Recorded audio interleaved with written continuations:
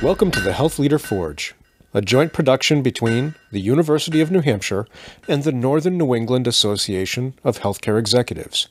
My name is Mark Bonica, and I am an assistant professor in the University of New Hampshire's Department of Health Management and Policy. Today's guest is Lieutenant Colonel Amy Thompson, the division surgeon for the 101st Airborne Division.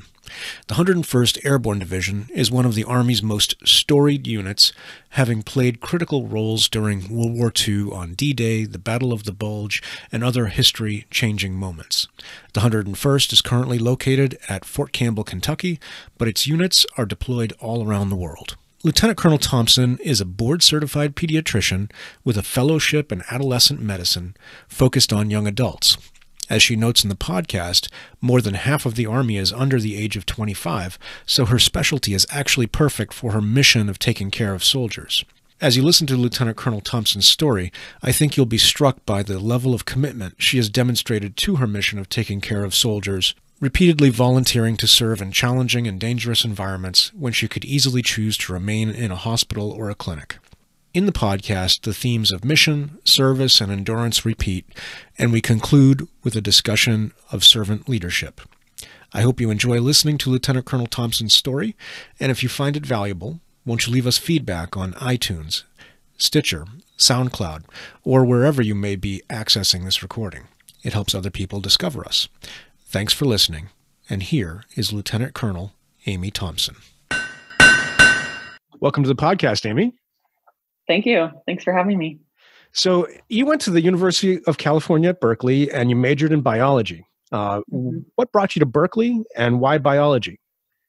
Well, I think uh, for me, I was I was you know grew up in Redwood City, California, which is about 45 minutes outside of San Francisco, Oakland, kind of Berkeley, the Bay Area there, and uh, um, I was more of a homebody, so I I kind of knew I didn't want to go too far away from home but uh, I got accepted to UC Berkeley, and uh, you know the the idea of a, a, big school like that was just very exciting to me. Um, and so, uh, yeah, that's where I ended up going. You know, I could still come home on the weekends if I wanted, but was far enough away to pursue my studies and nice and kind of move forward. So right. it, was, it was exciting. Yeah. So it was hometown, kind of or near near uh-huh. enough. All right. And yep. biology, were you already thinking medicine or?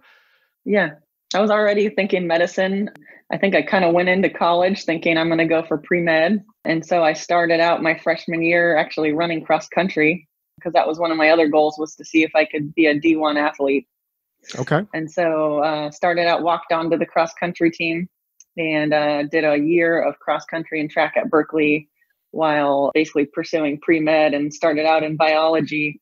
And it was it was much more challenging than I expected. And after my first year, I basically uh, had to step back from cross country okay. uh, and continue on the pre med journey. But yeah, it was it was it was a challenging first year for me. Yeah. So the cross country was more challenging, or the schoolwork was more challenging. Which way was it?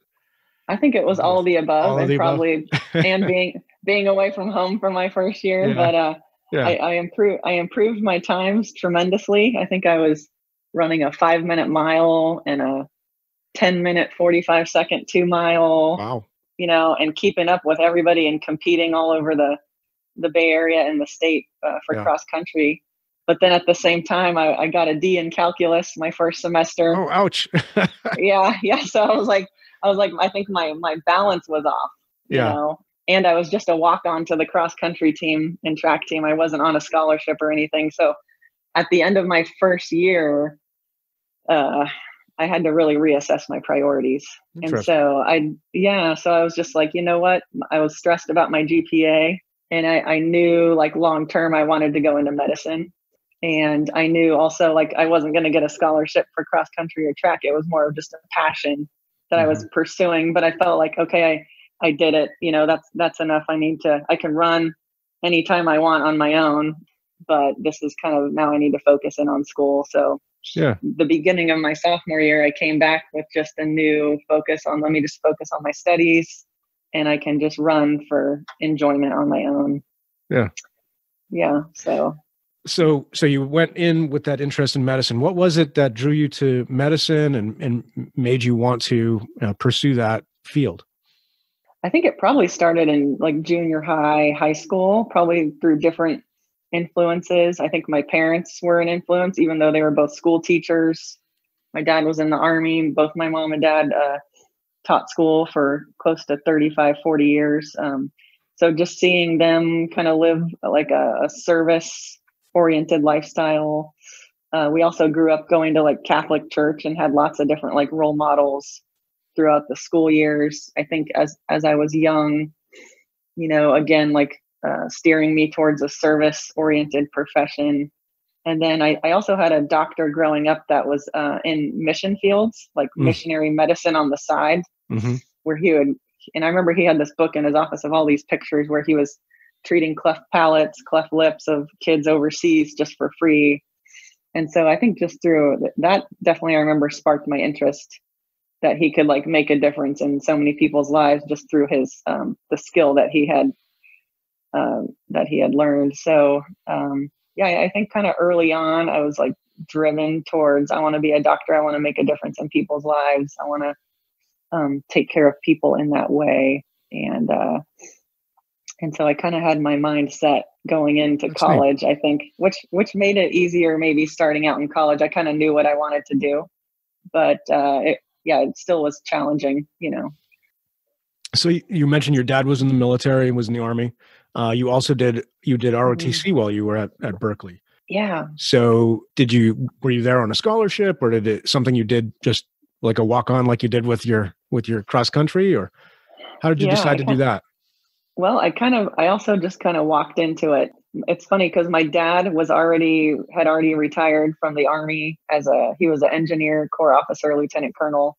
So he had already retired. I think in the early 90s so i wasn't even in college yet but he uh, he was always telling my myself and my sister and my two brothers hey when you go to college you should think about you know rotc or going to an academy. I think uh, you know part of it was the financial incentive to just not have to pay for four kids going to college but i think he also knew like you know it's a good leadership opportunity it's a guaranteed job for four years and then you can get out and do whatever you want but he always was like planting that seed Mm-hmm. And I, re- I remember when I started college, he was like, Hey, you should think about ROTC. And I was like, Nope, that's not for me. I don't want anything to do with the Army. okay. I couldn't, couldn't, couldn't even imagine that, yeah. Uh, you know?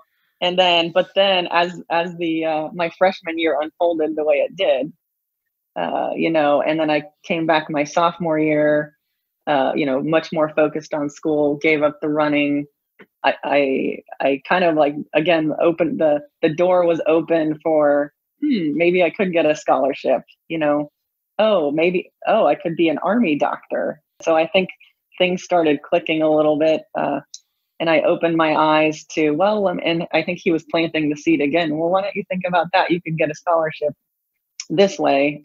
So I walked in and I signed up for a class.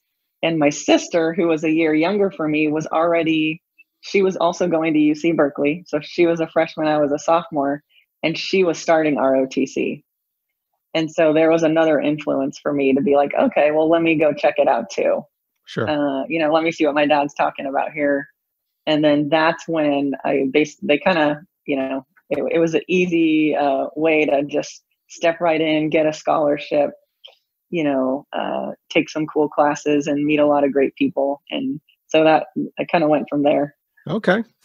So, so yeah. So, I mean, normally think of ROTC, you do your ROTC, you get your commission, you go on active duty, but that's not what you did. You actually uh, got accepted to medical school um, right. as, as planned. So how did that, mm-hmm. how did the ROTC um, play into med- your medical school experience and, and, and getting, you know, how did you navigate that?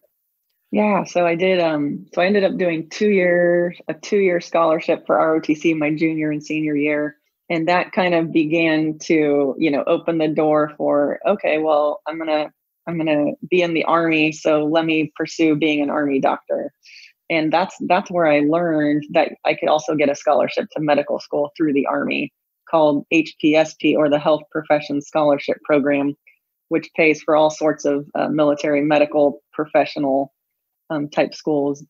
And so that was my goal then. So I was like, well, let me pursue this HPSP program for medical school, and the ticket to getting your scholarship for HPSP is to get into medical school. And so it actually took me uh, four and a half years uh, to get through college, which was probably a great thing because it gave me an extra semester to kind of improve my GPA, take my time, uh, you know, get through the MCATs a couple times. Um, just that lengthy, uh, you know, journey to get into medical school itself uh, is almost the hardest part. But um, we also had to do a summer camp in order to graduate ROTC. You also have to go to this advanced camp kind of leadership culmination event uh, in order to get commissioned. And the first time I went, I actually failed it.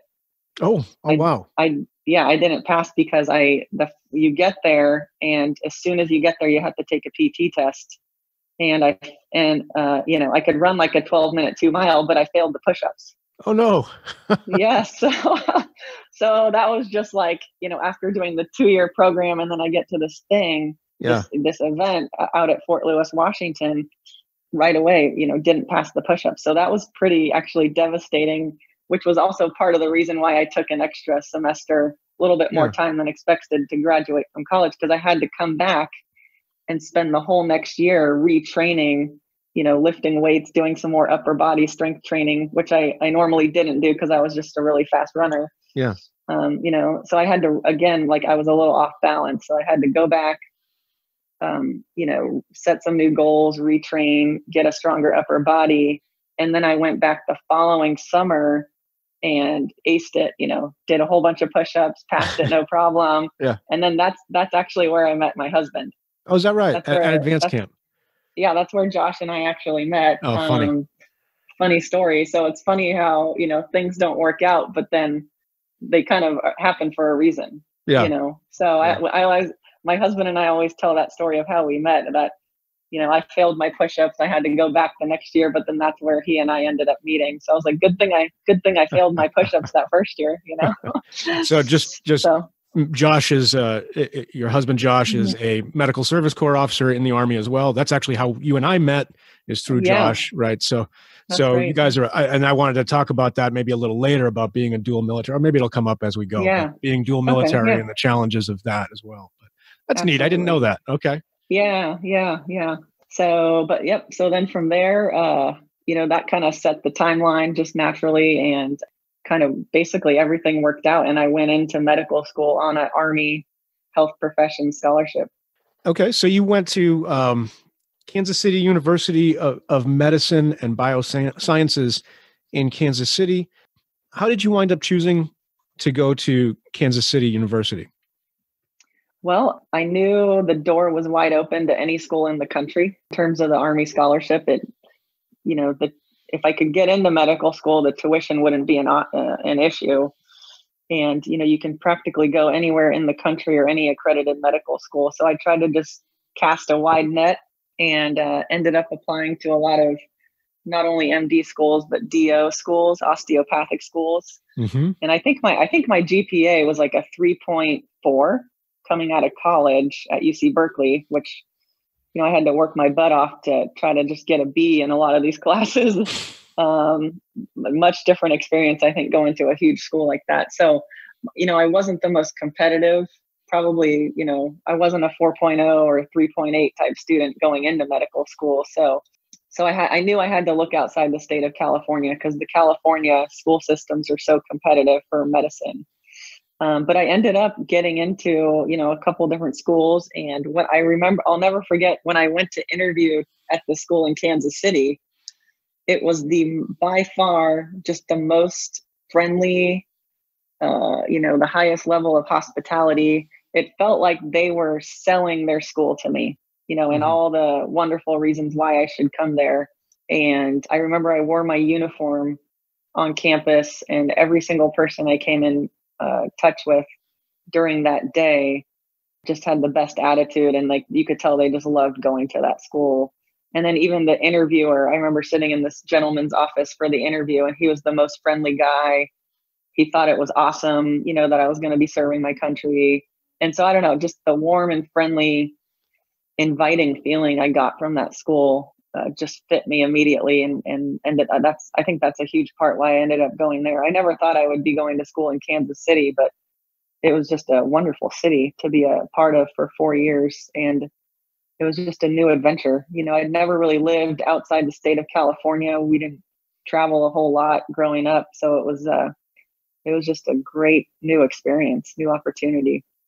So you became a pediatrician but you don't do that in medical school you have to you know you go through as you know you go through medical school and you and you make a choice uh, uh, at some point you know about what residency you want to pursue at what yeah. point did you decide i want to do pediatrics um, I think probably by my third year of medical school, I knew once it, once uh, we started all the rotations, the third and fourth year, first two years is uh, more academic. Sec- uh, last two years is all the rotations where you're experiencing every aspect of the the uh, medical field and doing all these different clinical rotations. And I remember just when I started the pediatric training portion, and primarily like in all the different types of outpatient settings, I liked that the best right away because I I was already kind of thinking like, what do I want to do that's gonna that I could do for 30 years? You know, yeah. where do I how do I see myself moving into something and it was just with kids. I was like, and my both my parents were school teachers with kids, so that probably was part of an influence too.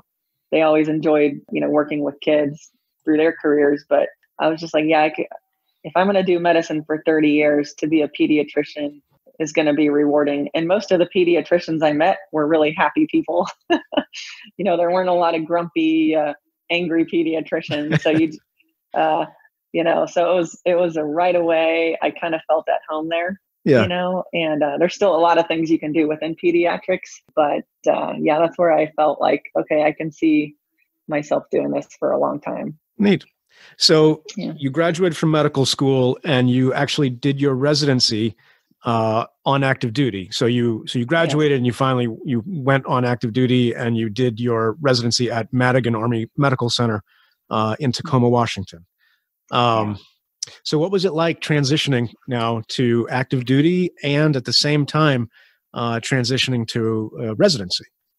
Gosh, that was that was an exciting time. My let's see, so started out at Madigan for three years there, uh, doing the pediatric residency program, and we kind of hit the ground running. I, I remember because I had done ROTC, the Army part of it, the Army officer part of it, I was excited for. You know, whereas a lot of people a lot of my peers were coming into the army for the first time without ever having really worn the uniform before. Like maybe they went to OBC, but most people don't go to the academy or do ROTC uh, after um, you know coming into the army uh, medical field that way. So I mean, I remember one girl had her second lieutenant rank on, you know, the wrong way, you know, in the hospital, and just seeing funny things like that, you know, yeah. with, with army doctors at the beginning. But uh, yeah, so no, I think the the army officer piece was exciting for me. I felt ready to just embrace that. I knew I I wanted to be a good army officer 1st mm-hmm. and then the doctor piece was just that first year. It's just an uphill climb because all of a sudden you're working 80 hours a week. You're a doctor. You don't really feel like you're a doctor, but you are. You know, you're seeing patients you're you know you're just every month you're in a new part of the hospital you know er inpatient outpatient specialty clinic. And so it's just this uphill steep learning curve for the first year you know with where your confidence isn't really there yet but you're you got to start the job. So the the practice begins. Yeah. And then by the second year you're just you figure things out. The second year gets to be more fun because now you kind of feel like you're getting a little better you're getting a little more confident you can feel comfortable making decisions. It's not as scary the second year. Yeah. But yeah, lots lots of uh, lots of lessons, lots of experiences, good and bad. So that leads me to you know you you my one of the questions I like to ask when I talk with physicians is um, uh, when did you know you were a physician? When did you feel comfortable looking at yourself in the mirror and saying, "Okay, I'm I'm I'm actually a doctor"? Yeah, I Was think it, I think in probably in the middle of residency where I actually felt like, wow, I'm I'm I'm a doctor. I'm doing this. I feel like I'm getting better at this. So I would say the first year for me, you're just trying to survive. Yeah. And then the second year, you start coming into your element. and you know the balance of the art and the science of medicine you start to feel that out you know as you progress through residency because you're wa- you're watching so many of your preceptors do, do things so differently one person tells you to do it this way and then the other person tells you to do it that way and you start to figure it out yourself there's an art here too yeah and uh, the the human dimension dealing with people as your customers every day uh, that are so different so so yeah, I, I would say uh, second year, third year, you start to get into a groove and kind of start to develop your own style a little bit. Uh, gets more fun. That's cool. Mm-hmm. Um, yeah. So you graduated from your residency in 2008. And you were assigned as the chief of pediatrics and chief of aviation medicine at Weed Army Community Hospital at Fort Irwin. And so um, Fort Irwin is one of those special places in, in Army yeah. mythology. but you know, folks who aren't familiar, what's uh, w- where's Fort Irwin, and why do people know about it in the military? Well, it's Fort Irwin, California, is in the middle of the Mojave Desert in Southern California. Yeah. Uh, you know, north of LA, San Diego, San Bernardino, and if anyone's ever driven through uh, Barstow, which is basically like a truck truck stop, kind of on your way to Las Vegas or LA there. Um, yeah, it's like Barstow is the nearest town to Fort Irwin. And so literally once you hit Barstow, you know, there's a sign that says 31 miles this way to Fort Irwin, and you follow that, and it's just a two lane highway right into the army base with nothing in between. and so, uh, yeah, it's a it's an interesting place. It's it's probably the least desirable place to go. One of the you know because it's just not a pretty place, and there's nothing out there but a big, huge training area for units as they get ready to deploy. So the whole purpose of Fort Irwin is a big, huge kind of combat training center where every brigade combat team in the Army comes through and they train for a month before they go overseas on their deployment. But yeah, it's a it's an interesting place to be, and we were there for two years. That was our yeah. one of our first assignments. Yeah. So it's kind of a unique place. Um, how mm-hmm. and so you were chief of chief of pediatrics. So mm-hmm. that so you were, went straight from residency to to being in charge of a of a of a service. So yes. that must have been a, a bit of a exciting opportunity. Yeah, yeah. And it for I would describe the hospital there as probably similar to being in a small rural community hospital. Okay. because you're really at this tiny little hospital out in the middle of nowhere.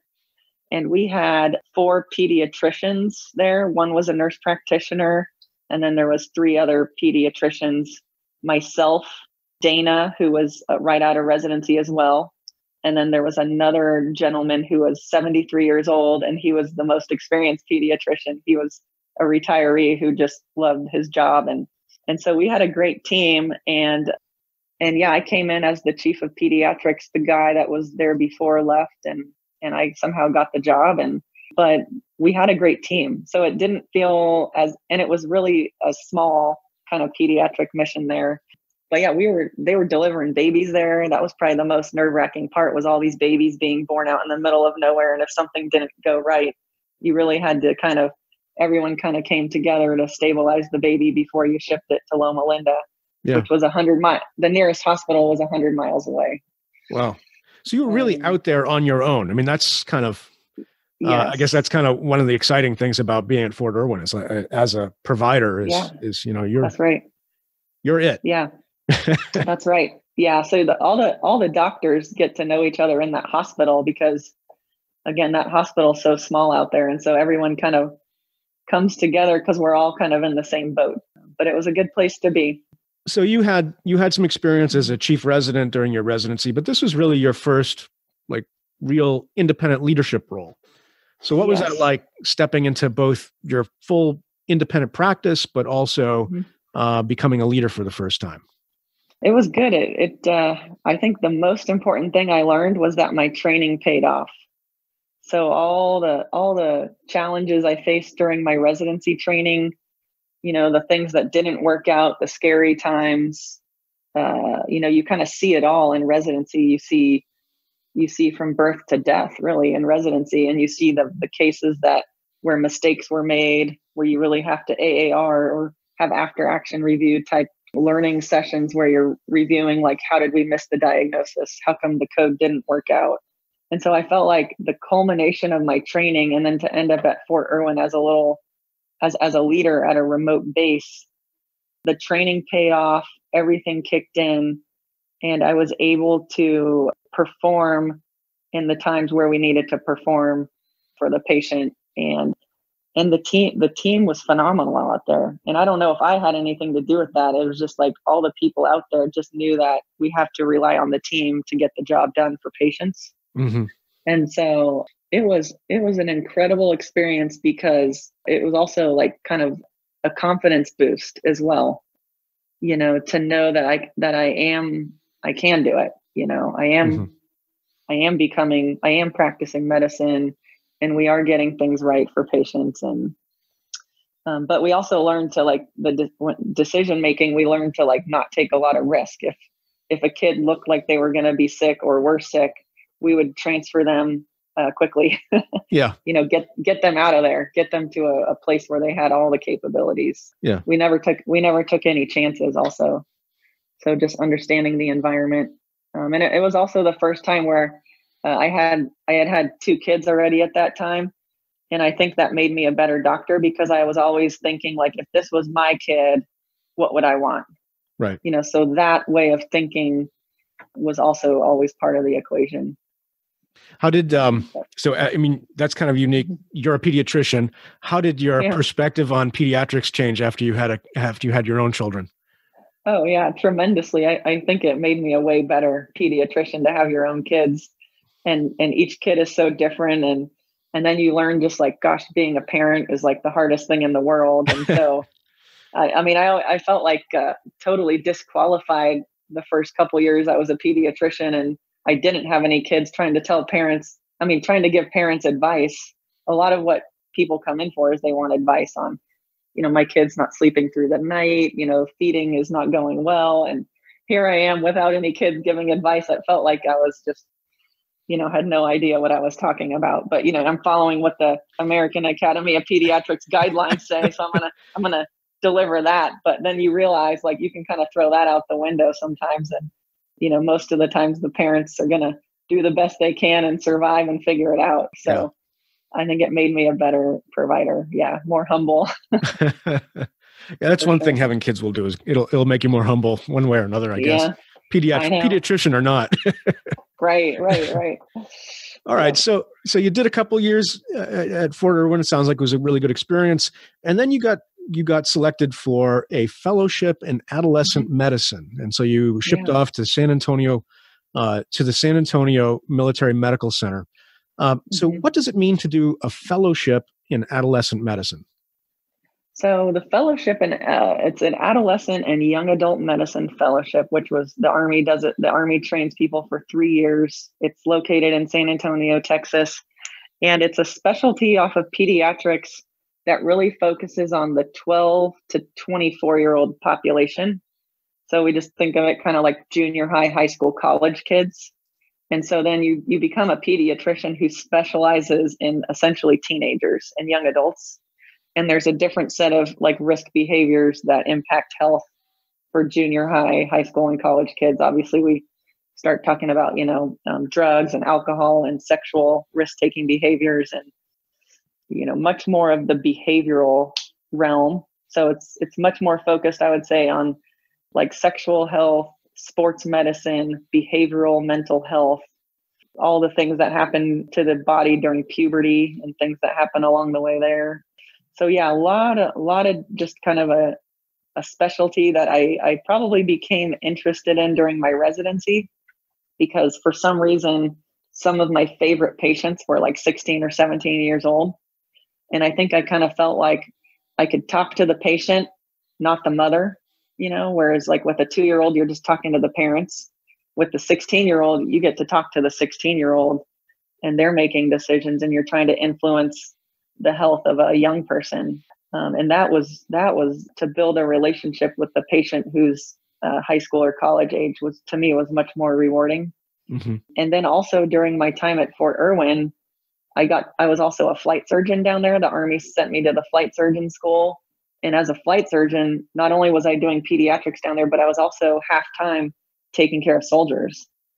And then I realized as an Army doctor, my ultimate purpose is to take care of soldiers in uniform. Right. And so I was just like, you know what? I'm I'm learning to be a really good pediatrician, but I need to be better at taking care of soldiers who are young adults mostly. Half of half of the uh, U.S. Army is under the age of 25 years old. And so I said, well, this is probably a perfect fit then. I, I already like the older kids. I want to be a better Army doctor. I need to take care of soldiers. You know, they're mostly young adults. So let me do it. Was just, to me, it was a no brainer. So I just applied for the fellowship. And uh, it's not a fellowship that a lot of people want to do. You know, I think most pediatricians, interestingly, most pediatricians don't want to uh, take care of teenagers. And so a lot of pediatricians uh, stop seeing patients around age 12.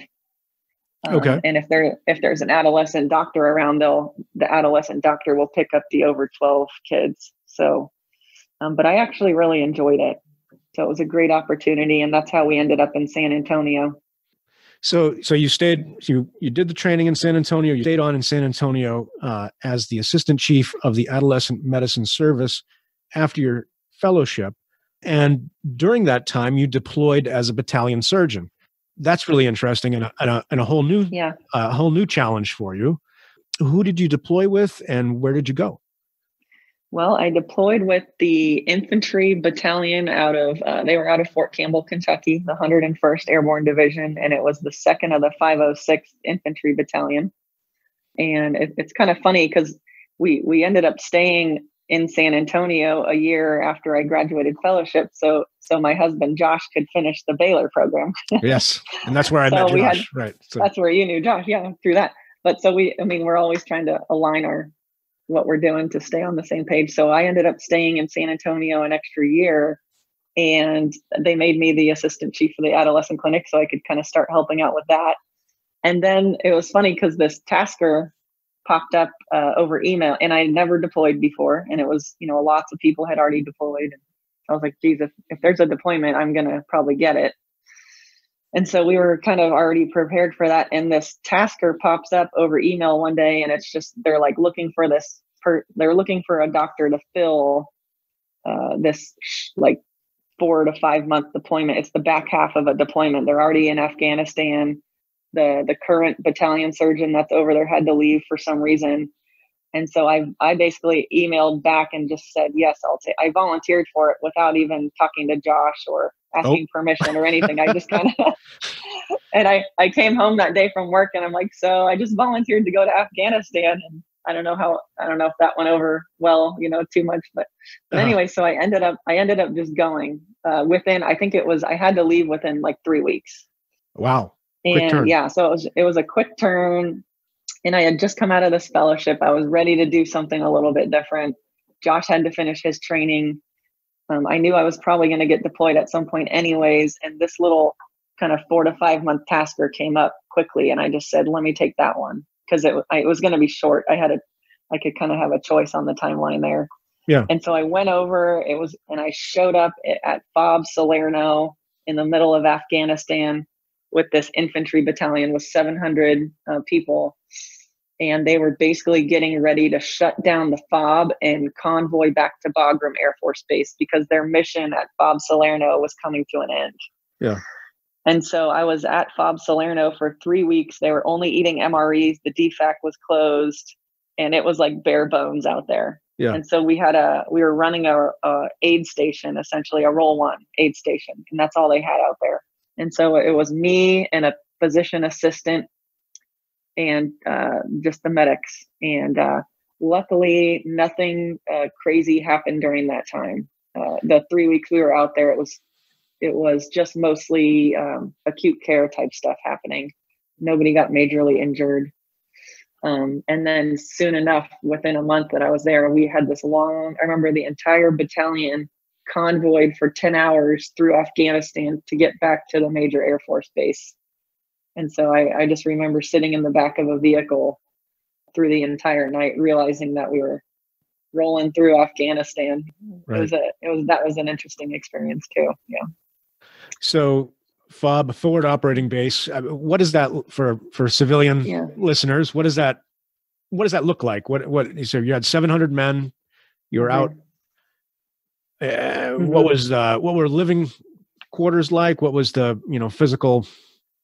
Yeah, it's um, it's it's just think of it like a little fenced in. Gosh, you, you could probably. I I remember running around it. Everyone would run around the fence line in the morning to exercise, and uh, might have been maybe a mile around. So it was a, a, a mile loop kind of around the, the fenced in forward operating base. And um, the, the infantry battalion's mission was to kind of pull security in the area around around the fob outside. So, um, but yeah, on the fob, we just, I mean, yeah, the living conditions.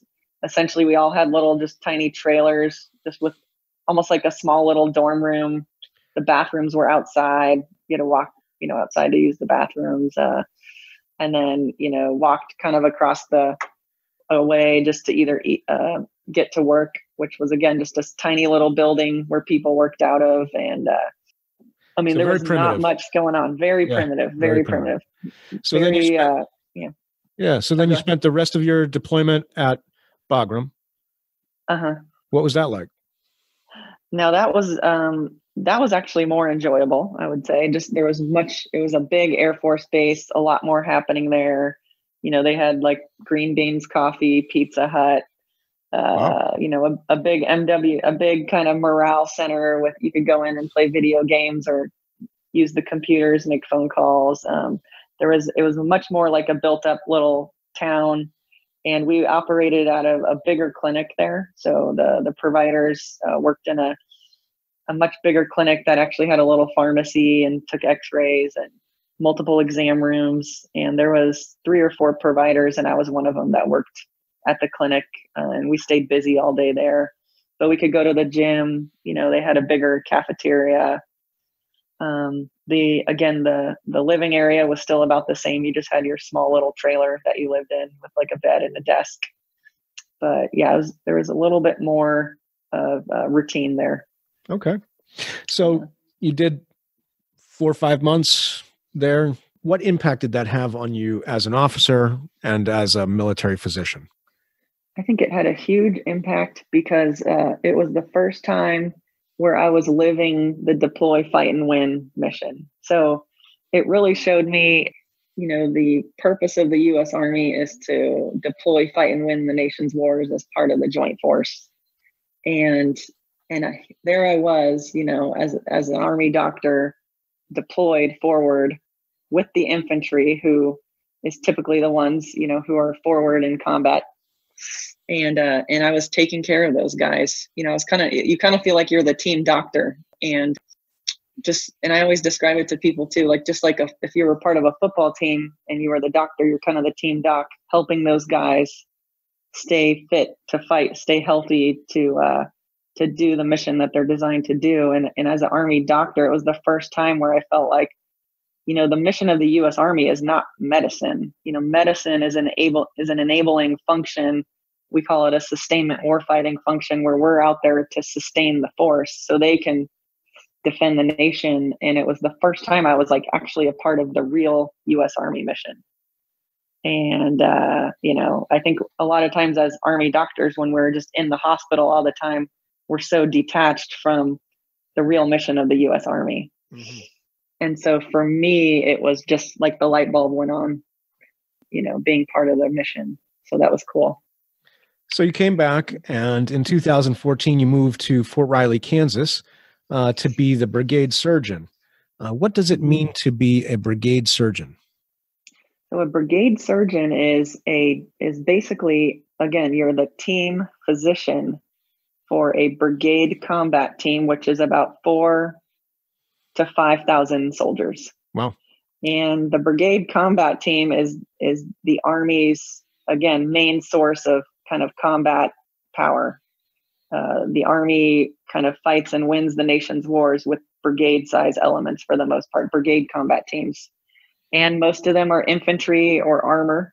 Uh, they're you know again it's it's the infantry. It's uh, um, you know they're the tip of the spear they're they're the deploy fight and win element of our uh, nation's freedom and so to be again I, I think my deployment experience right away showed me I have all the skills as an Army doctor now with the young adult medicine fellowship training, uh, the ROTC background. I understand the mission. I, I feel like I'm a good Army officer and a good doctor. And so I volun- I actually volunteered to be a brigade surgeon. I uh, called our you know personnel division and said I want to be a brigade surgeon. And so okay. again, it was like, okay, like here you go. You know, let's make sure we can get you somewhere where Josh can, my husband can have a job, and you can be a brigade surgeon. And uh, and yeah, so it was. It's probably the best job I've ever had being a brigade surgeon. Um, but but the term again, the brigade is just the the unit, and then the surgeon piece is that's just what the army calls their physicians. And it's, okay, most people most people go into it as a primary care physician. So. So you um now as a brigade surgeon, there's much larger scale than as a battalion yeah. surgeon, right? So yeah. whereas with the battalion, you were kind of the team doc for the battalion. As a uh-huh. brigade, you're the team doc, but that's a different. There's a different scale there. There's right? a different scale, yeah, and different responsibilities. Um, mm-hmm. So talk talk a little bit about that. So you okay. you you had battalions beneath you now. Yes. So the brigade. So the battalion is about 700 people, and the brigade is about 4,500 people. So in the brigade, there are seven battalions. Each battalion is typically led, the medical care for each battalion is typically led by a PA. And so if you think about it, the brigade, the brigade has the physician to supervise the PAs.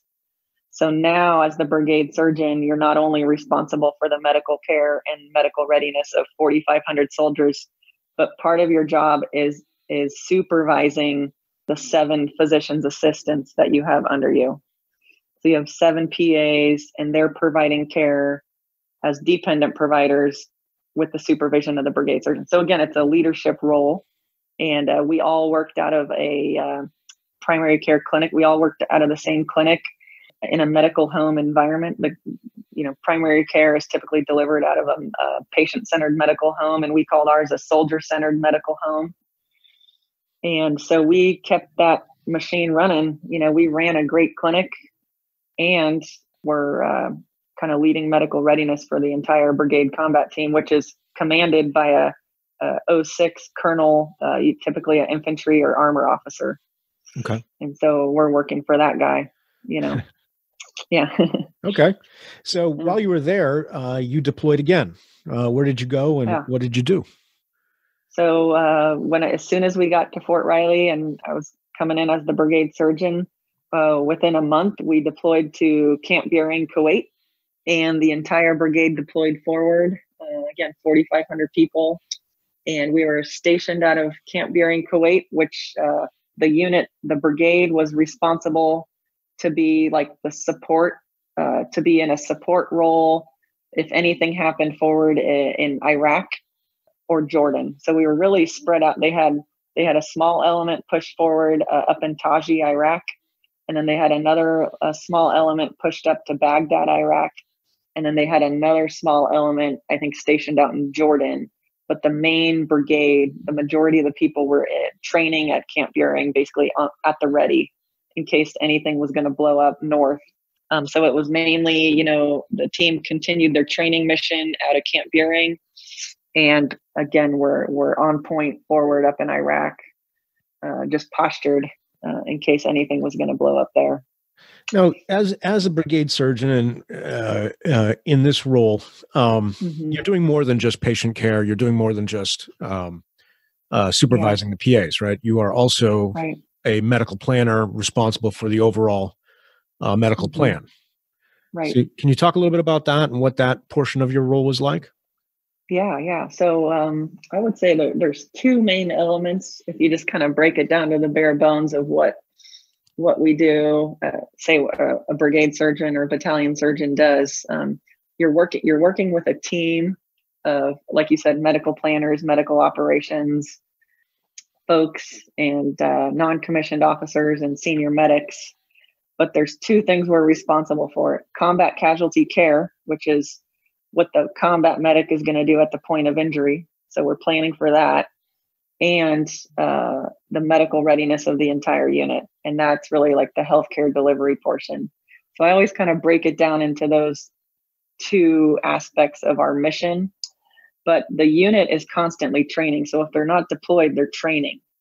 And so what we do is we're also responsible for the medical planning of every training mission that's happening. And so there's all medical is always at the table and we're always a part of every operation. And there's a lot of planning uh, that goes into that. Typically the brigade surgeon is is part of that equation, but the brigade surgeon also has a medical operations officer on the team that's going to kind of lead the charge on that. Uh, um, and so you learn a lot from your medical operations folks and just how, how medicine is truly integrated into every operation and how important it is for uh, the war fighters if something happens to them. Yeah. So in 2016, you moved again, and this is kind of a theme with military life. Um, I know. You bound, uh, you you so um, you moved mm-hmm. to be the service chief for adolescent and young adult medicine at Walter Reed National Military Medical Center, which is up in the mm-hmm. Washington, D.C. area for folks who aren't familiar with it. Um, I'm going to kind of fast forward here. And okay. then in 2018, staying in the same area, you you moved to staff job as a staff job as a Defense Health Agency liaison to the mm-hmm. Joint Staff Surgeon Office. So talk oh, yeah. a little bit about this. Is a, a, a yeah. really different uh, kind of assignment from what you've done before. You're out of clinical medicine now. Right, um, right. You're not in a deployable unit. You're with the Defense Health Agency. So, what is the Defense Health yeah. Agency, and what were you doing? So, the Defense Health Agency is uh, kind of began back in 2013 and uh, is a combat support agency. So, I think it's one of 19 CSAs or combat support agencies across the Department of Defense. And the DHA's job is to enable the Army, Navy, and Air Force. Uh, it's it's kind of an enabler of the services to provide a medically ready force in peacetime and in war. And and I think it was uh, essentially started to control the cost of healthcare across the DoD and eliminate a lot of redundancies of running hospitals across the Army, Navy, and Air Force. Each of them were delivering healthcare and running hospitals and essentially doing the same thing but doing it differently which which just creates a very expensive and redundant system and so i think it's the essentially you know the dod's way to start downsizing and integrating healthcare across the department of defense and so the dha is kind of a way to do that it also allows the the army navy and air force to focus on the deploy fight and win mission the operational aspect of what the the services are designed to do mm-hmm. and let the De- Defense Health Agency run hospitals across the entire DoD. Um, again, to make that process more efficient, higher quality of care, lower cost. And now, like, you know, Army, Navy, and Air Force, they can focus on their resources forward to make operational medicine more focused and better. So it's it's interesting. So I essentially got to be a part of that. I was at Walter Reed. Uh, we we moved out there again. The Army moved us out to the DC area for Josh's job and and for me to have a job out there too at Walter Reed and worked in the adolescent medicine clinic again. And then this opportunity essentially came up. Uh, they put out a notice on email asking for um, volunteers.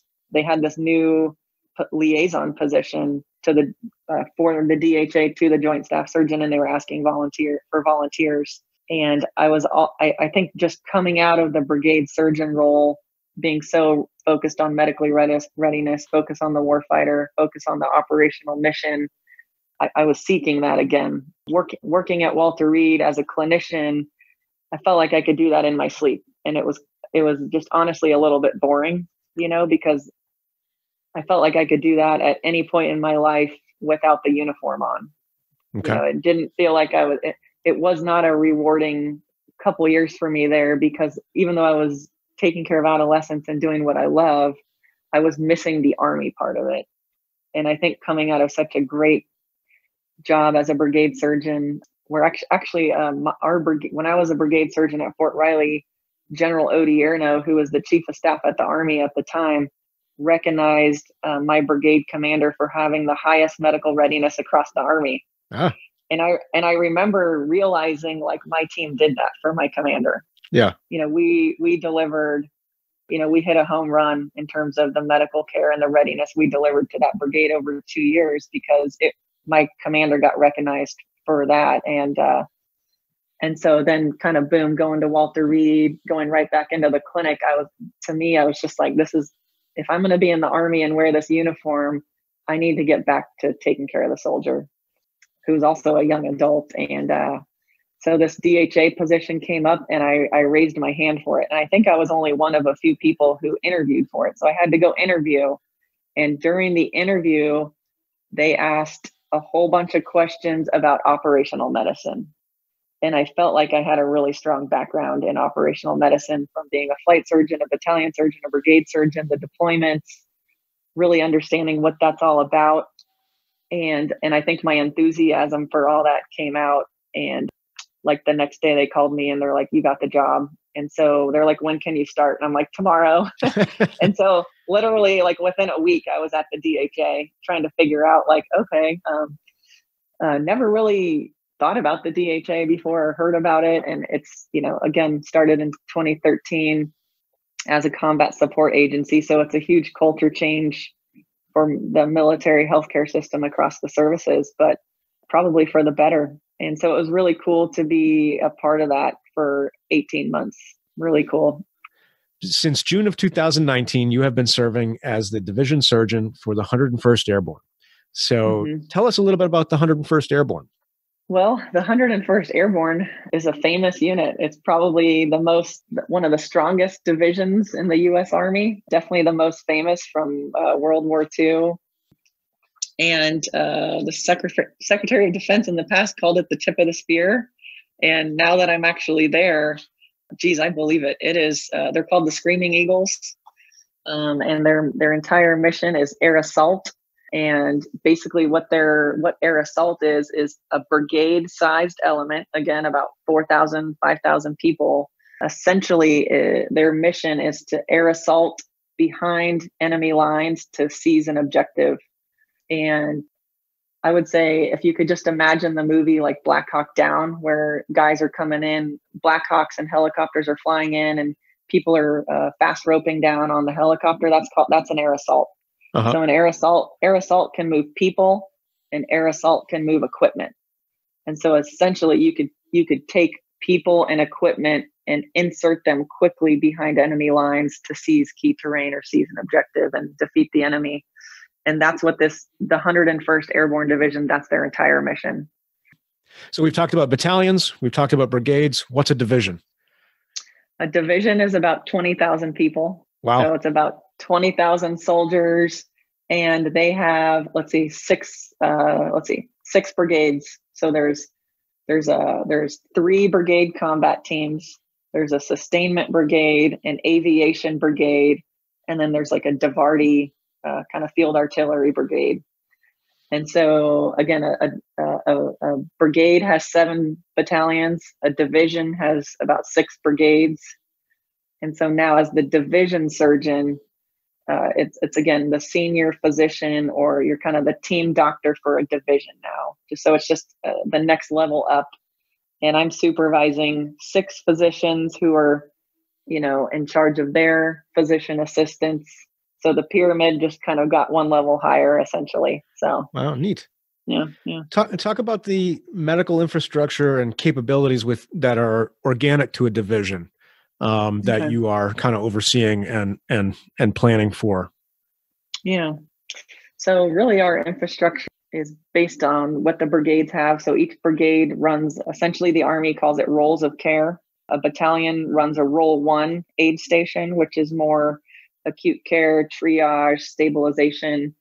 And then a brigade is responsible for running a role two level type care on the ba- again this is all on the battlefield and role role two is think of it more like a primary care clinic they have radiology uh, they have pharmacy they have blood um, they have all the primary care stuff they can do emergency care um, acute care routine care so uh, they also have behavioral health uh, dentistry um, so the brigade is going to be uh, running role two capability across the world on whatever mission um, they're going to. That's what we did when we were uh, in, at Camp Buehring, Kuwait. Um, and so when we're planning for missions, we plan through, we plan role one and role two capability. And uh, again, the division at the at the division surgeon level, we're just overseeing and integrating in all the different uh, roles of care uh, across the the different brigades. And right now at the 101st, our, the brigades are really all over the world. It would only be like in a large scale combat operation that we would probably deploy as an entire division somewhere. Okay. So right now, uh, people are still spread out. So that's got to that's got to create some unique challenges. Um, yeah. In terms of planning and making sure that medical support is is is available to those units when they are scattered across the globe.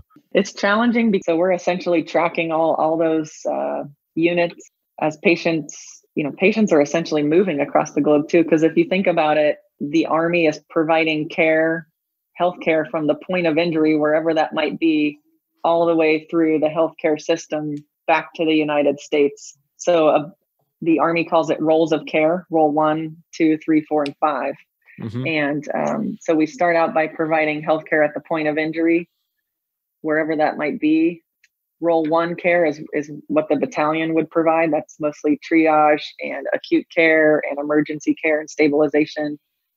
Uh, role two care is, is bigger than that. You can still provide acute care and emergency care, but you have um, blood and x-ray and pharmacy and dentistry and behavioral health and primary care. And uh, you can even attach a, a forward surgical team to a role two to have some surgical capability. But then if the patient needs to move beyond that, then we move them back to role three, which is a big, bigger hospital and theater. And then role four and five is um, hospitals back in the in, uh, CONUS or in the continental United States. So it really, as a division, as our units are all over the world, we're tracking kind of the healthcare system um, from from way out there all the way back uh, to the United States. So it's it's uh, I guess integration and um, and oversight is is part of the job too. So it's pretty interesting. So you've talked about role one, role two. You mentioned um, and you mentioned forward surgical teams. So there are actually a number of and, and then you and then you mentioned role you mentioned role three and 4 mm-hmm. I, am curious what are your what is your role as the division surgeon for uh, interacting with these other um, mm-hmm. m- these, these uh, higher level medical units yeah. that aren't aren't organic to um, the division, but get attached to the right. division or get assigned to provide support to division assets. Right. So for me, and as a division surgeon, there's a couple key folks that I'm interacting with at Fort Campbell, Kentucky, where the 101st uh, resides out of. It's the hospital commander so we have Blanchfield Army Community Hospital that is in place to dis- to support medical care for the division and all the family members that live on Fort Campbell. So I interact with with that person a lot, uh, more of just uh, making sure that we have a good relationship. And as they work to support the division, and I work for the division commander, you know, and, and, and our missions are happening all over the world. I my job is to make sure that the hospital commander understands the priorities and the mission sets, so he's um, able to provide appropriate support. And then the other person that I probably interact with is the field hospital commander, who is um, another colonel who's in charge of the what would be the role three uh, theater, more the, um, or combat support hospital. So uh, and there's so you almost got like your your your community hospital that's just permanently assigned on the base, and then you have your uh, operational combat support hospital that's going to move when the if the division went forward or a division went forward, then the role three or the combat support hospital would move forward as well. Mm-hmm. So it's just so that role three is there's also a role three stationed at Fort Campbell, and so we interact with that uh, unit a lot for training purposes, I would say, and just to maintain the relationship there. So, aside from obvious things like battle injuries that people tend to think of military medicine, like somebody's, uh, you know, the uh, one of your brigade goes out goes out on a mission, somebody gets hurt, mm-hmm. you know, and and gets that, you know, the treatment uh, at the role one, role mm-hmm. two, and so forth, and then maybe evacuated further back Uh, mm-hmm. what are the other major medical threats that you have to prepare for as a medical planner with deployed, me- in, in, you know, in a deployed environment? Mm-hmm. I would say a lot of infectious diseases, um, a lot of uh, environmental threats, just even from the drinking water. So, uh, one of the officers on our team is an environmental science officer, and one of her roles is uh, vaccine health. That's, she she does everything vaccine related, and obviously, we the army has probably every every vaccine that you could possibly have to protect people from infectious disease threats all over the world. And the US Army is also huge on helping develop new vaccines, such as, you know, to pr- protect from from threats like Zika or Ebola, you know, all these other diseases that are a threat to the health of the force. So yeah, I would say I would say vaccine health is a big part of what we do, and then just the environment. So anywhere from animals to drinking water, everywhere we go, uh, making you know we're we always assume that we'll be moving into an austere uh, environment in some you know kind of part of the world and so we always have environmental experts that are out there um, making sure that the environment is set up for safety to keep people healthy uh, for example when we went out to a training site just at fort campbell in the fall for two weeks for training uh, they moved us to live in these little really kind of run down buildings that looked like they should be demolished, you know, but like that's where everyone was sleeping and the doors and windows were open. And what they found in those buildings were bats. There was bats living oh. in there.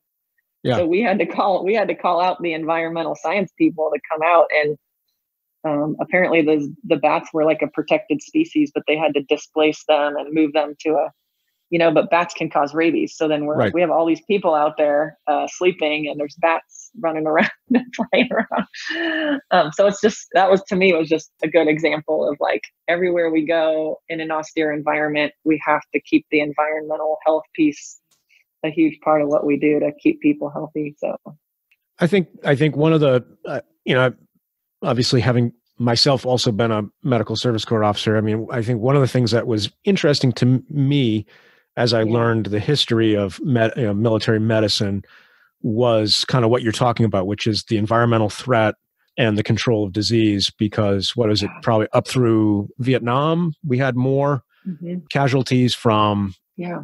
disease and, and non-battle injury, meaning environmental, you know, dis, uh, uh, injuries and so forth. Oh yeah, absolutely. And even like even other threats, um, I would say another huge threat is just the weather, and probably probably one of the leading cause of training uh, deaths is heat injuries. So we just have, you know, even at Fort Campbell every year, a dozen people, uh, you know, have heat major heat injuries just from doing road marches that are 12, 26 miles long in July and August. Uh, um, yeah, but but you're absolutely right. Just history, time and time again, has shown us that more people will be sick, injured, or die um, in an austere environment um, in combat, not from combat injuries, but from all the diseases, you know, the non-combat injuries that we're exposed to while we're out there. And we know that that'll be the same in the future as well. Um, for sure. You you also have a garrison mission, right? Meaning you have a field mission when you're out either deployed or when you're out on operations, but you also oversee a garrison mission, meaning when you're when you're back um, uh, uh, in garrison, as we refer to back, not deployed. Um, so, talk a little bit about that. Yeah, so I would say the medical team, you know, truly we're an integrated system of health and readiness across the entire, not only the entire world, but locally here at our installation, um, where soldiers are back home with their families and working and training and always preparing for the next major event. But uh, 90% of all the medical care that we deliver is primary care. Okay. And so it's really important to have uh, primary care physicians in the Army because the majority of where we take care of soldiers and promote their health and prevent injuries and get them ready uh, for their mission is in the primary care medical home environment. And so across the division here, we're planning for and executing and seeing about 100,000 appointments a year in our primary care medical homes. We have three different clinics across Fort Campbell that soldiers get their medical care. And I think it's important to understand that in our in our readiness mission, as as we're getting troops ready to deploy and um, train in support of our nation's defense, health is the foundation of readiness. You know, and that's that's this is where it's really important for everyone on the team to understand that it's the it's the soldiers and the people that are getting the job done. They're the ones that are flying the helicopters and driving the trucks and moving the equipment and all the cool things the army does. Um, it's it's people that are doing it, and so health is the foundation of all of that. And um, the majority of what we see is musculoskeletal injuries. So sports medicine is happening okay. every day. That's probably that's probably about seventy percent of what we do is sports medicine, and that just makes sense with how physical, how how important physically uh, to be physically fit is for soldiers in, in the army. Yeah, um, you, a lot of musculoskeletal. Yeah.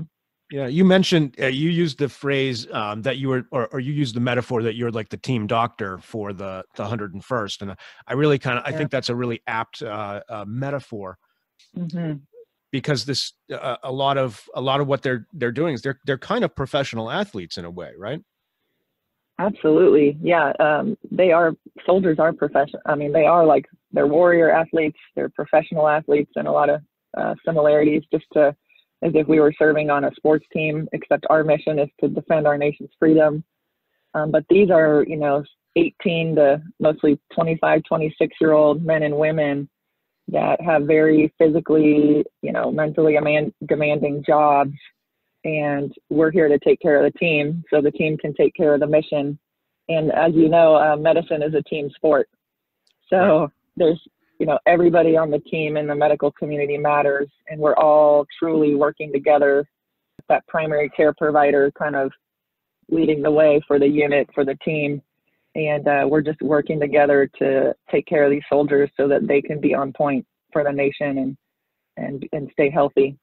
Right right. I mean you you were talking about uh, we talked earlier about people these young people are carrying you know going long road marches carrying heavy packs I mean, that's just a that's a piece of the training that that ordinary civilians just don't do in a day to day, and even athletes, you know, uh, don't do. Right? This is a, right. a uniquely physically Absolutely. stressful field.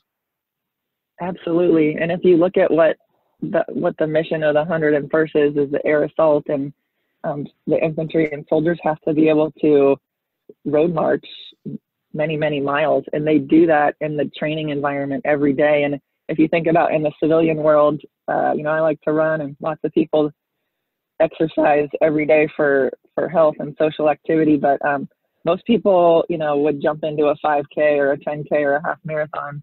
Never would you put 50, 30, 70 pounds on your back and a pair of boots on and, and a full uniform and then have to go do that in all sorts of um, extreme austere environments. And so if you just look at what our soldiers are asked to do and they do it in a very courageous and mighty way, it makes sense that, you know, the musculoskeletal, the stress on the body is going to be high. And so we see a lot of that every day in the clinic. And I, I constantly tell our medical team too, you know, it's a team sport. The health of every single soldier matters. And, and we've got the best job in the world taking care of these guys that are, that are truly almost kind of like extreme athletes in a lot of ways. So so you've been practicing medicine in one shape or another for 15 years now. Um, mm-hmm. What's been the most gratifying uh, uh, aspect of of the practice of medicine for you? Um, definitely, uh, definitely the taking care of people and uh, just trying to make a difference in people's lives. I think is is what uh, keeps driving me forward. Uh, even just the other day, I took care of a soldier who uh, was training for the best ranger competition and um, started to have lower leg pain. And so they called me about this guy because he's there's like you know nine people right now in the running for best ranger at Fort Campbell, and they won the entire competition for the Army last year, so it's a big thing.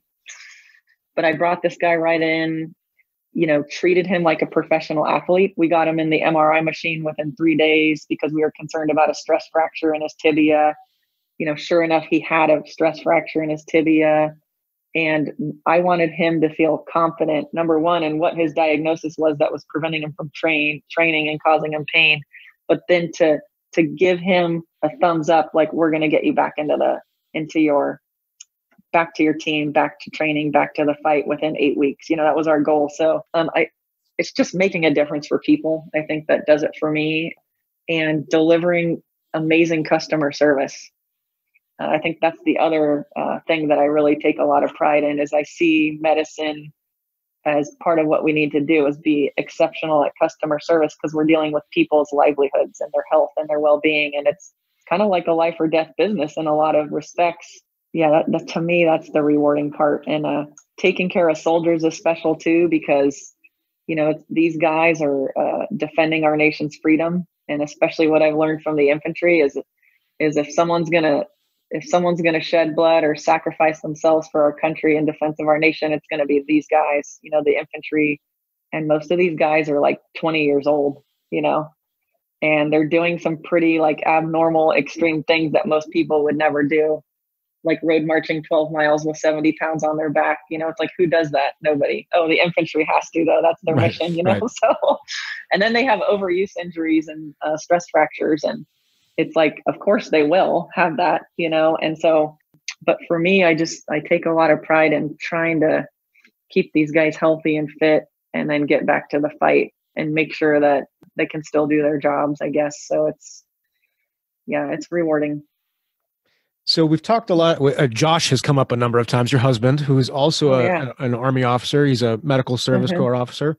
Um, right. And, um, and and so I just what I was what I wanted to hear from you, and maybe in, in, because we hear a lot about couples trying to have uh, meaningful careers in the civilian world, and and you know both both members of a couple trying to make that work. Mm-hmm. The military, uh, you know, uh, uh, as we've been talking, you you moved all these times, and, and you mentioned some of these moves you've tried to, you know, you've you've had to try to make arrangements so that both of you could, you know, c- could continue to move your careers forward what's uniquely challenging about having uh, uh, being dual military and trying to maintain those you know professional uh, careers moving forward? Yeah. Well it's uh yeah we've been doing this together for about 15 years and uh as a dual military couple so we're both serving and um you know trying to advance in our careers and get more training and education and uh, we're both driven to make a difference and um, to to be good leaders for other people you know first and foremost uh, and so it's been there's definitely been sacrifices and challenges uh, we we tell people that between the two of us we've had five deployments. You know josh has had three deployments and i've had two deployments and i'll probably have another one. Uh, that's probably the hardest part i think is the time apart uh, on those big, huge uh, trips. But we both understand that the Army's purpose is to deploy, fight, and win the nation's wars. And and part of our job in uniform is to maintain our deployable status. And so I think uh, we just we understand that and uh, understand that that's ultimately what it takes and why this is a sacrificial profession. So I think because we both understand the purpose greater than self aspect of serving in the US Army, we're we're we're both on board to try to give it 20 years, you know, and, and to be all in. There does come sacrifice, but I believe that we try to balance that really well um, with being very deliberate and intentional about our our time as a family uh, around those big events. So for example, like any kind of temporary training or schools we have to take. We've done a lot of our training like distance learning. For example, the Army makes officers go to this intermediate level kind of leadership education called ILE or Command and General Staff College. And both Josh and I did that online, distance learning intentionally so we wouldn't have to go away for another training. You know, mm-hmm. a lot of people go four months TDY or nine months here or there. And we were just like, nope, we'll just do it online because we don't want to take any time away from our family or and then we have three kids and so they're uh, their ages um, 8 10 and 12 and so we kind of just tell them you know this is this is our mission field right now you know to be in the army is like being on mission it's a it's a special uh, career path that we've chosen and just kind of built our life around. Uh, so it's a lifestyle choice. But uh, I feel like our family is our family unit is very tight and very strong, and it's brought us. I think it's made us a stronger um, uh, family in a lot of different ways too. Versus versus torn us apart. It's brought us together. We're like, well, if we could survive going to if, if we could survive mom going to afghanistan for five months then like what else could be harder than that you know right. we did it and uh, but we we have a lot of family support too from grandmas and grandpas and brothers and sisters and friends and so i think we have a, a, a good community network and family network just around our immediate family that's that's helped us a lot. We probably couldn't have done it without them as well. So but yeah it's it's definitely challenging and uh and we just try to take it kind of one day at a time one month at a time you know. Well let's let's talk a little bit about leadership. Okay. What would you say is your leadership philosophy? You know what i've i've been studying a lot and i think this is something that's been in been in my mind and my heart and my and kind of just how i operate for a long time is just servant leadership and so i think it goes back to just understanding that I that I'm in like a dual service profession as an army officer and as a physician. Um, you know, I'm in, I'm in a profession of service. As a physician, I see myself as a servant uh, for other people to enable their health, and so yeah. So I would say servant leadership to me is the only kind of leadership that I'm interested in, and I don't know if I always get it right, but uh, I, I see myself as a servant leader. So my job is to serve the mission, serve the organization, serve the people, and enable their success through coaching, mentoring. The Army has a slogan called Mission First, People Always. Mm-hmm. And I learned that when I was in ROTC. And I think I've just lived by that, you know, where we're here for the mission, but it's always about the people. And um, every team I've been on, I just, I really try to put people first and take care of my team and enable my team's success. So empower them, really uh, help them clearly see like the mission, the vision, the goals of the team and the organization, and steer people in that direction. Um, but but I, I I do everything I possibly can to empower the people on my team to reach their highest potential. Is there somebody so, you learned that from in particular, or saw? I mean, you mentioned uh, so you uh, mentioned you heard you know yeah, you hear everybody who goes to ROTC learns the you know mission first people always kind of phrase yeah but i mean did you yeah. see somebody that really embodied that or did you learn that from somebody did you have a chance to see a leader who really embodied it and uh, executed it I, I would say i've seen a couple leaders execute it and i i probably didn't realize like that they were but i was just like there's been a couple people i've worked for that have just really stood out in their leadership like like i totally look up to them and I look at their leadership and and I'm just like I want to be like them. You know, how do I how do I be like a leader like them? Mm-hmm. And I would say uh, one of the folks was when I was in residency. Uh, we had a doctor named Dr. Pentel, and he was our program director in residency. And he was just like this amazing leader. And and I look back now, and I'm like, he was definitely a servant leader. Uh, I had another leader in ROTC, Jim Craig, who's now I think he's a professor at the University of uh, Missouri St. Louis. Um, he's retired from the Army, but I look back now at his leadership as one of the best leaders I worked for, and he was a, he was definitely a servant leader. And then I, uh, one of my brigade commanders out of Fort Riley, Colonel Tim Hayden, he was like an amazing leader who totally empowered you know the medical team to hit home runs, uh, backed us up. He was humble. He was you know results uh, focused at the same time but just totally humble and totally kind and like the nicest guy you've ever met at the same time but expected high results at the same time. And mm-hmm. and i look back at my time working for him and i'm like it was obvious he was a servant leader too. A big influence for me serving in the army has has probably been my family. I, I had mentioned my dad you know retired from the army as a lieutenant colonel. He served in vietnam. Um, my brother is an Army orthopedic surgeon. He was a prior infantry uh, officer, ranger, switched over, went into medicine. He's a huge servant leader. My sister uh, was an Army doctor for about 10 years, also a servant leader. My other brother served in the field artillery stationed at Fort Sill, Oklahoma for uh, many years. Went to everybody in my family has deployed to Iraq or Afghanistan, service to our country. So, you know, without taking anyone for granted, everyone has everyone around me in my life has served our country, and most importantly, my husband Josh has, you know, every step of the way, every day we're in this together. He's he's been a helicopter pilot. He's uh, been there for soldiers at the point of injury, and he's continued in the army very successfully too.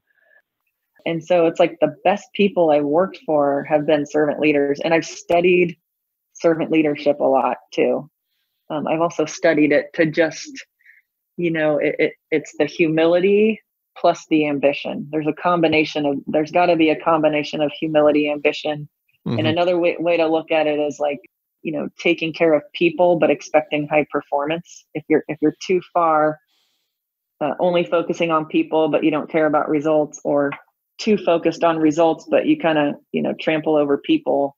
There's got to be this balance between like love, essentially, you love your people and you're you want to win at the same time. You know, mm-hmm. you want you're driven to win, but you have to love your people because your people will not help you win if they don't think that you care about them um, or love them. You right. know, and so that's just the healthiest combination right there. But but yeah, I think I strive to be a servant leader, and I don't really see leadership in any other way other than that. And I, have seen great results from that, you know. And again, it's it's it's it's this fine balance, and it's easy to get too far in one direction or another. And I think where that that's where that constant self awareness and self reflection has to keep entering the equation. It's this never ending journey of self reflection and striving to be a servant leader. Um, and it's and it's not easy. You know, if there's challenges all along the way with that. Um,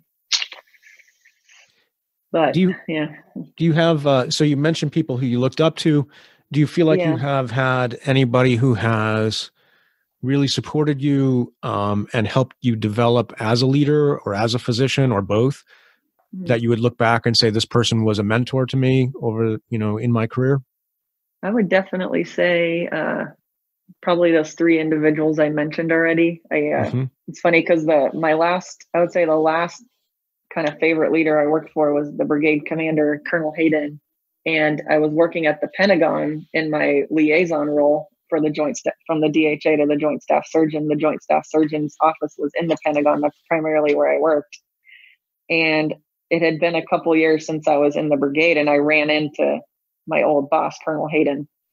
And so I just was like, oh my gosh, here's like one of my favorite bosses I've ever had. And I'm just like running into him. And so I said, hey, would you meet me for a cup of coffee?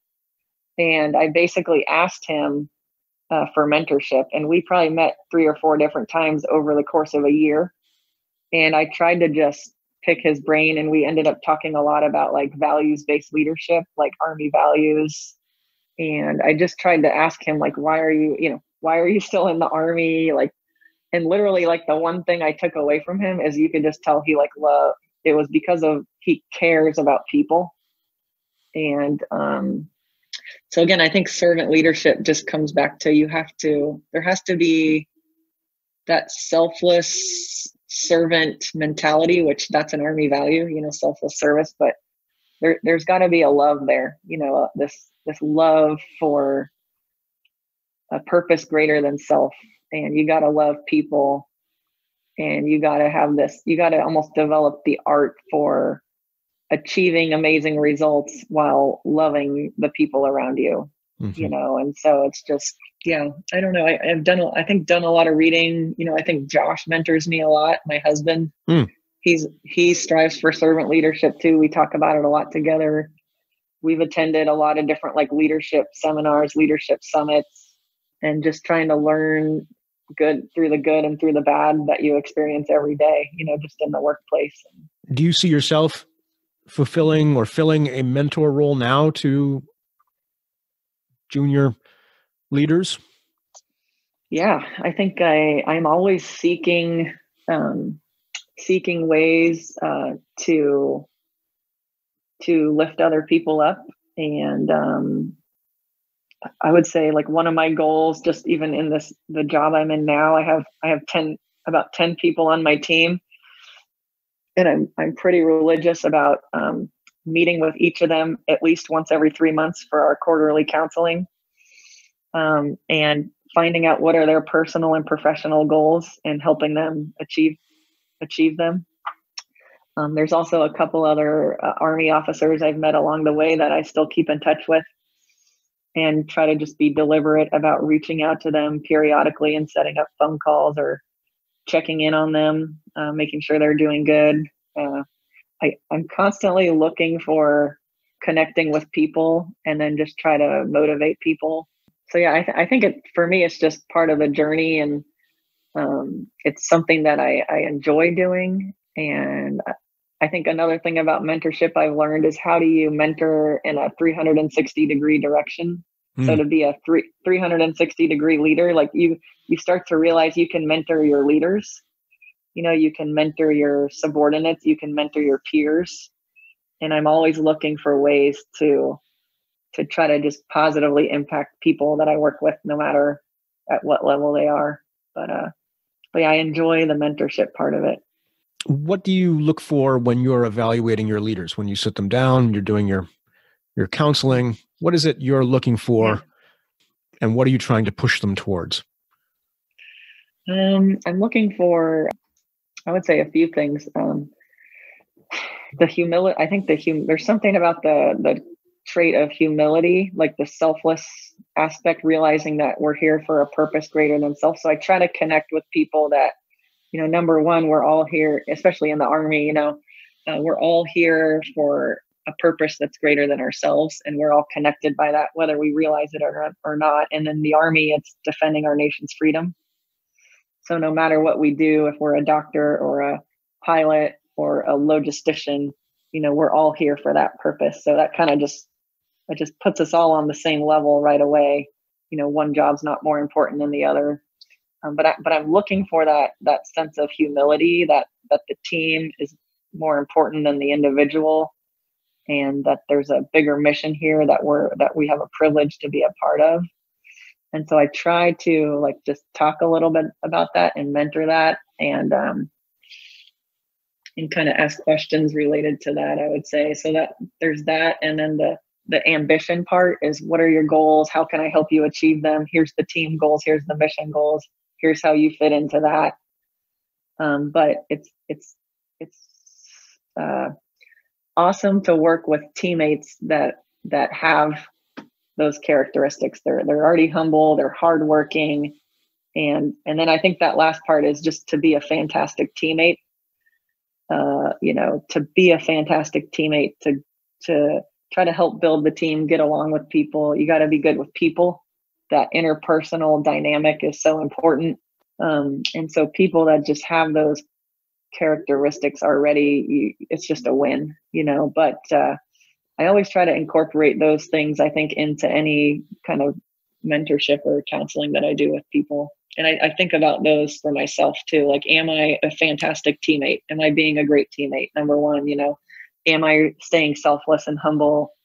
Keep connecting myself to the greater purpose here, the greater mission that's way bigger than just me, you know, what I what I want for myself. And then um, um, you know, am I staying focused on the main thing or, or what are our goals? Keep reassessing our goals and what are we actually trying to achieve? And then are we achieving it? Because especially in the army, you know, we got to win. We're here, we're playing to win in the army. And I think in life too, it's just how do we keep getting better?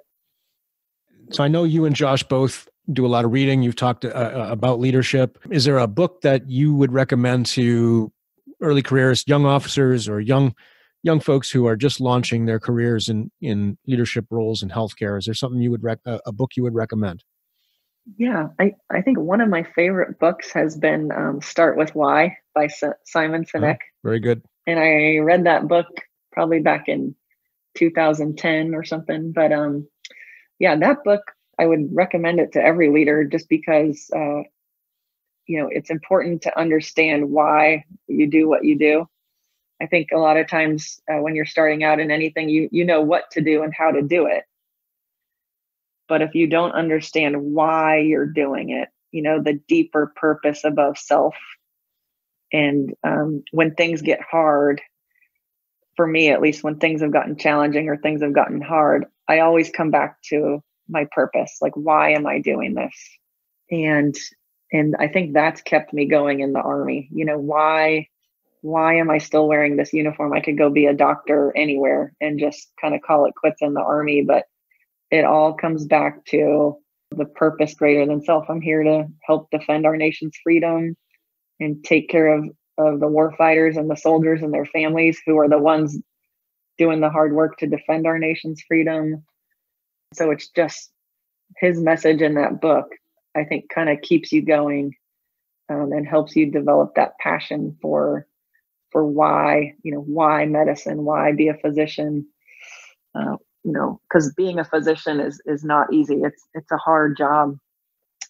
And uh, I always tell people too, you know, medicine's one of those professions where there's no finish line because people are always going to get sick, people are always going to get injured, and um, you can you never cross the finish line in medicine. It's just this long journey, this lifelong journey that you just kind of keep going, and you and it's you have to have endurance.